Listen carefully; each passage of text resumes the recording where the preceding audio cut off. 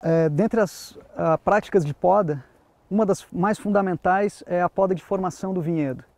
Então aqui nós temos é, mudas que foram plantadas no ano passado, então elas têm praticamente um ano de idade. Então é fundamental eu fazer com que essas mudas cheguem no arame de condução.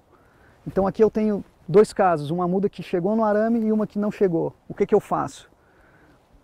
Com as mudas que chegaram no arame, para que eu mantenha o vigor, mantenha o crescimento, eu simplesmente agora, no inverno, eu vou fazer uma poda abaixo da linha do arame. E depois, com a brotação, eu conduzirei os ramos nesse arame e formo a minha planta. Nesse caso, eu tenho uma planta aqui que menos vigor, é, crescimento menor, que não conseguiu atingir o arame, eu retorno seu crescimento próximo à base, algo em torno de 6 a 10 gemas para que ela retorne com mais vigor e com mais força para que a planta possa ser formada. Muito bem, passando então para a poda das plantas adultas, o que eu vou explicar agora é o sistema de poda em Guyot. A, a lógica desse sistema é o seguinte, todo ano eu renovo o, o braço de produção, eu renovo esse cordão de produção. Então como é que eu vou fazer isso? Eu tenho que eliminar essa parte velha, é, deixar os materiais novos que eu vou escolher, que serão meus novos ramos de produção, e deixar esporões que serão a renovação do ano que vem. Então vou começar eliminando a parte velha da planta, que foi a parte que produziu ano passado.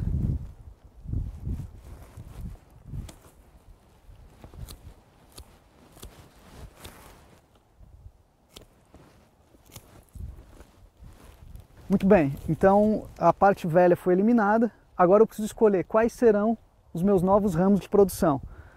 O que, é que eu vou fazer? Eu vou escolher ramos que são mais vigorosos, nesse caso aqui olhando a planta. Eu teria essa opção, ou essa, ou essa. Então para deixar a planta um pouco mais equilibrada e mais harmônica, eu vou deixar esses dois ramos aqui. E os outros eu vou ou eliminar ou podar em uma gema para ter a renovação do ano que vem.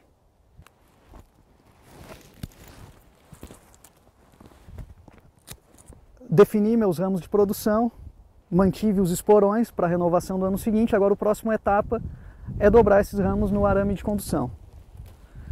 Então, faço esse movimento, tem que cuidar para ele não romper, porque ele pode quebrar nessa etapa, então é preciso ter cuidado. E a gente amarra.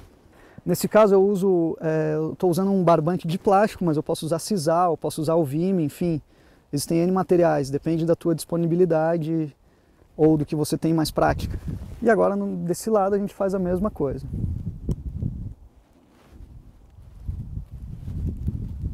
E para finalizar, a gente reduz o ramo aqui no, no, no comprimento onde ele encontra outra planta. Da mesma forma, do outro lado da planta, fazemos a mesma coisa. Muito bem, eu vou mostrar para vocês agora como se faz a poda em cordão esporonado.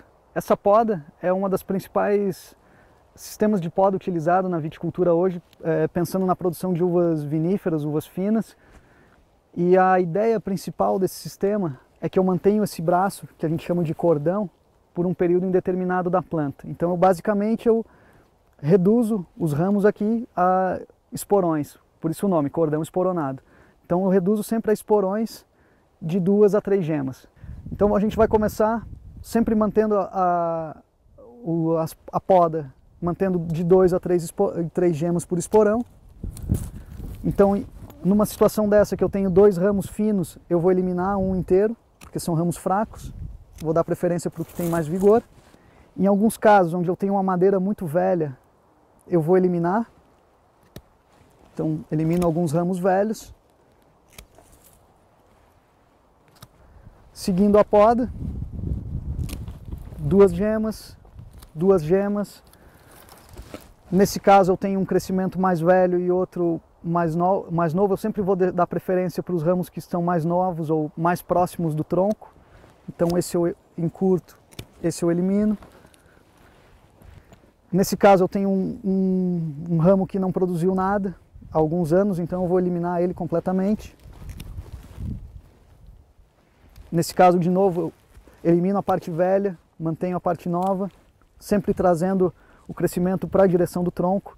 Seguindo em frente, então, nesse caso, novamente, eu tenho um, um, crescimento mais antigo e um mais, mais novo. Eu sempre vou dar preferência para o mais novo para tentar trazer, quando eu posso, obviamente, esse crescimento para mais perto da base, mais perto do tronco da planta.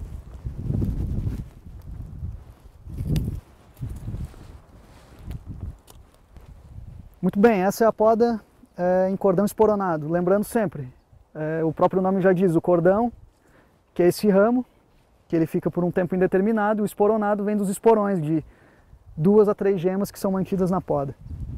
É importante lembrar, algumas pessoas perguntam, quando é que eu podo? Então, em tese, eu poderia podar em qualquer período durante o inverno. É, aqui, porque temos um problema de geadas e etc., nós temos uma regra básica. Variedades tardias, podemos podar mais cedo, enquanto variedades precoces, a gente poda mais tarde. Essa seria a regra básica.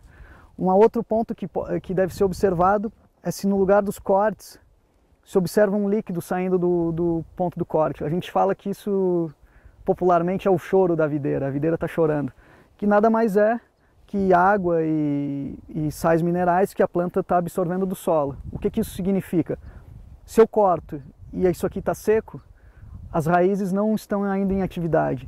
Quando eu corto e eu observo a exudação desse líquido, quer dizer que as raízes já estão em funcionamento, já estão absorvendo água e a planta está saindo da dormência. Então esse seria o período ideal da poda.